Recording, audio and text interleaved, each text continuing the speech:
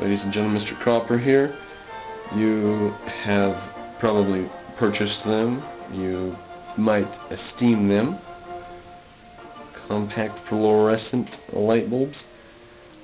Somebody pointed out the one that I have just up there and uh, uh, called me a hippie. Well, I haven't purchased anything except these probably for five, six, seven years now. Even though they used to be as, as much as $10 a piece at the, the Polish store just down the corner from where I lived in, in, uh, in Connecticut. $9.99 a piece, and we would buy one at a time, me and my brother, as an investment, because it cuts down so drastically. It cuts down 75% on your lighting bill. And, you know, looking at the numbers like that, the Edison bulb is terribly inefficient. Now, that's all fine. Now, here's the killer. A senator did a speech where he talked about some legislation that's been passed. Edison's great invention will be illegal, as it is in Australia today, will be illegal throughout our fruited plains, in the senator's words, uh, 2014 or 2012 or something like that. That is unacceptable. I don't think that the government has any right to telling us what kind of light bulbs to buy. That's ridiculous. That means that there is a religion that has taken over the government, and that religion is called environmentalism. It's a religion, and we should separate it from the government the way that we separate uh, everything else, including Catholicism. All the other religions, environmentalism should be separate from the government. You can't tell me which light bulb to buy. They have one reason they like these. It's 25% as much electricity for the same amount of light. That's the one reason they like them. Look at that. It's quite a delicate bulb, isn't it? Breaks quite easily, doesn't it? Well, change chapters for just a moment. Huh? Put that in your pocket. Well, don't put it in your pocket. You might break it. Let's go get a thermometer and check our temperature because we're either really angry that they've outlawed Edison's invention, or else we're sick. Oh, well, our thermometer's not going to have mercury in it because mercury is so dangerous that the government has restricted its use. Uh, so the thermometer that we have today is going to be some sort of electrical unit, not a glass thermometer with mercury in the middle, perhaps has mercury inside, but it's not going to be something that you could drop on the floor and release the mercury. That's as bad as a car without a catalytic converter, or worse. Because mercury, as I've heard, I believe it's in the senator's speech, mercury is listed just below the radioactive elements in toxicity to man.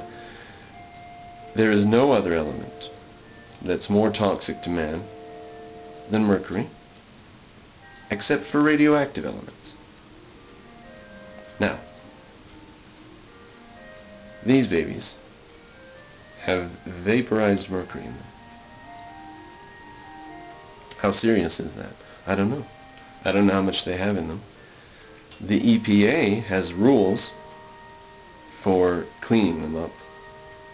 If you ever break one of them, and I've broken several, and I didn't know this, if you ever break one of them, you're supposed to take the pets and yourself out of the room for 15 minutes and open windows and doors that dissipates the mercury and that reduces the likelihood that you're going to get a larger dose.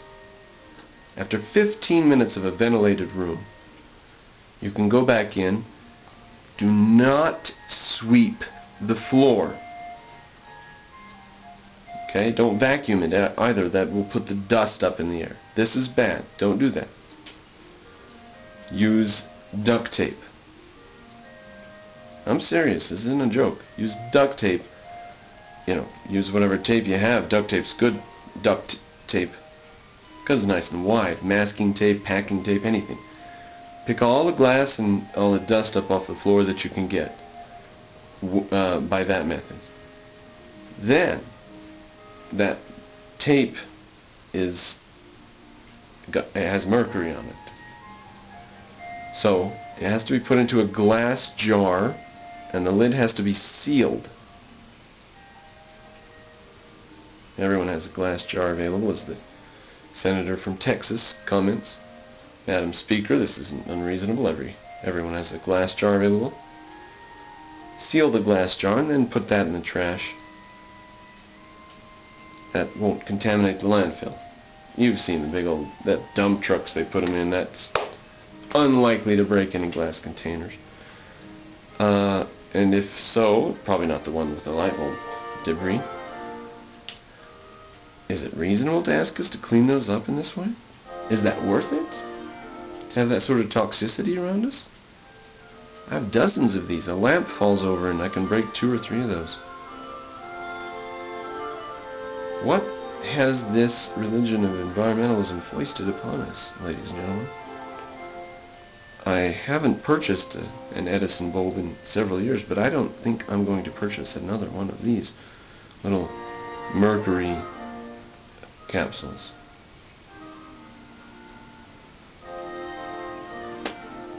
Environmentalism is harming us, not helping us.